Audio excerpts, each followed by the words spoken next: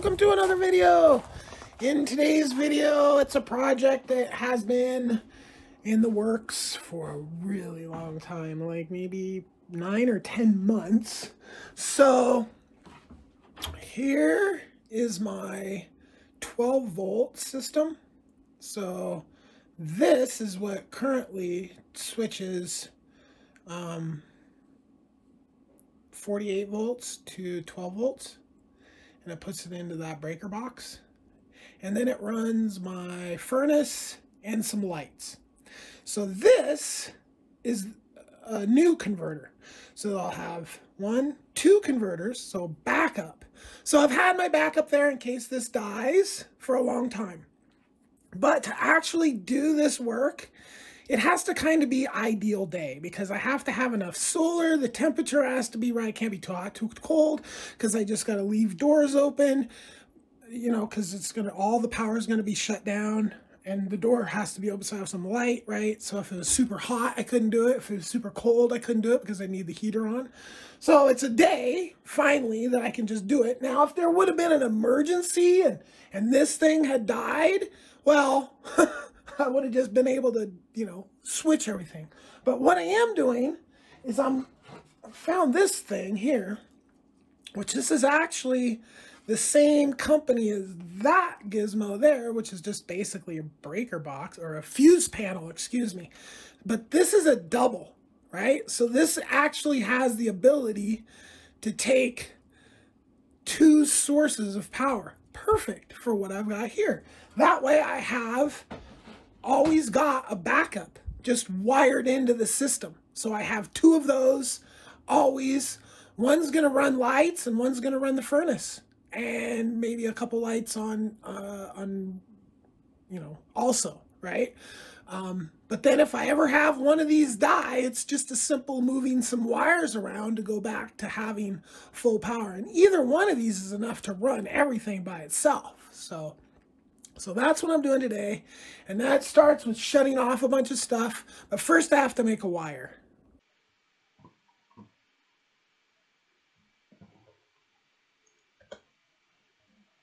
So this is some 10 gauge speaker wire that I bought to do my 12 volt system with. It's super awesome wire as far as like being able to run it and pull it through stuff, it's super easy to deal with. But it's actually more wire than a normal 10 gauge wire. And so all my wire strippers mess it up. And so, I mean, if you nick a couple wires, it's no big deal. But right here in this section of video, I mess up twice, so maybe even three times, I don't remember, but yeah, I just nicked too much wire and then just had to cut it all the way back and start all over again. So yeah, I need a bigger wire stripper. If you know a wire stripper brand for this, just leave it down in the comments section because I'm telling you, I'm in need of a big gauge wire stripper that doesn't mess up my wire. So, yeah, after messing with this for quite a while, actually, I did get them all wired up and figured out.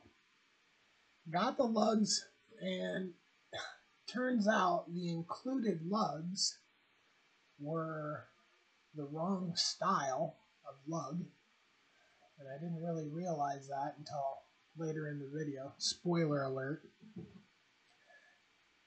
Now, here's my crimpers. Uh, I think they're Gardner Bender, and the the uh, handles are actually coming off of them. So I need a I need a new quality crimper as well.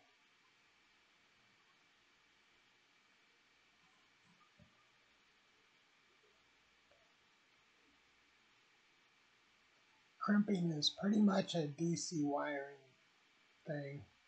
Don't really crimp an AC.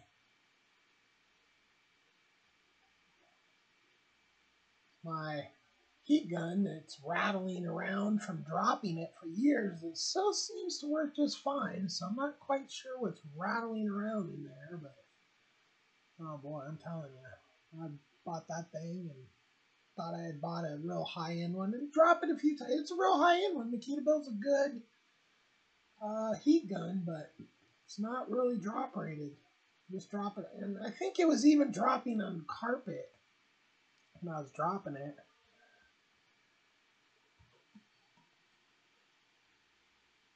I had a different heat gun. I don't remember what happened to it. It was a cheap one I bought off eBay.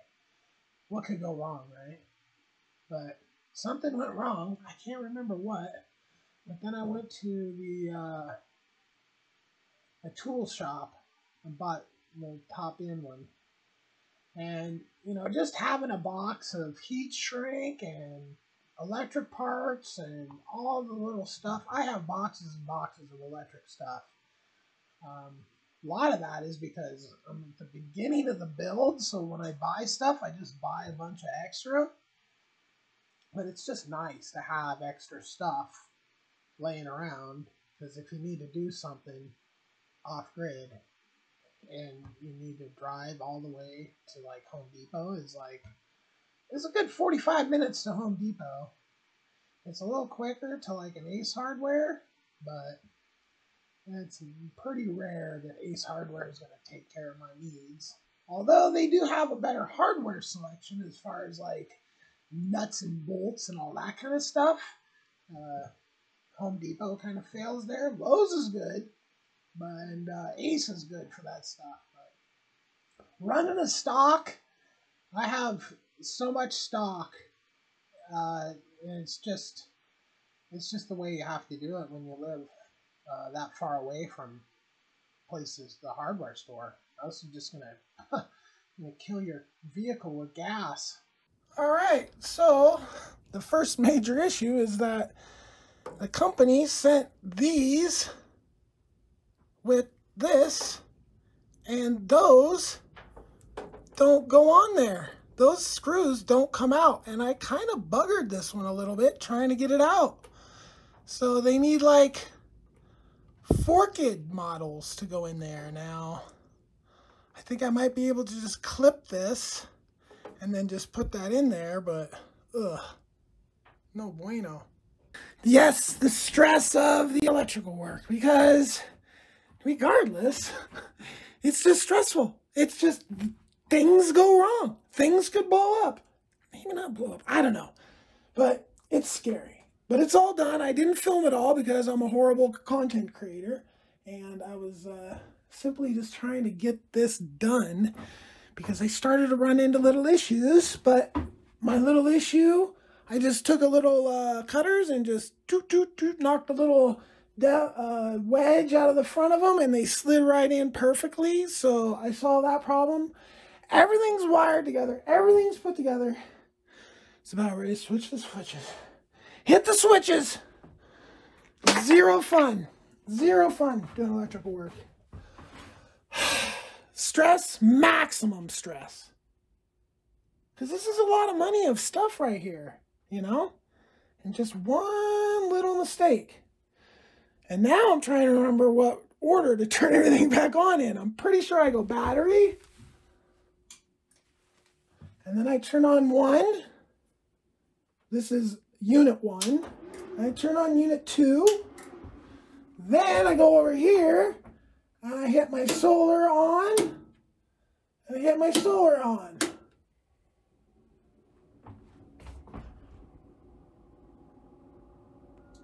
And there's no scary sounds.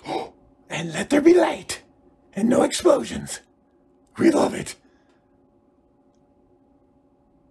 Still waiting for PV to kick in. My settings are all PV voltage, still at zero. AC voltage. Uh, everything seems to be working.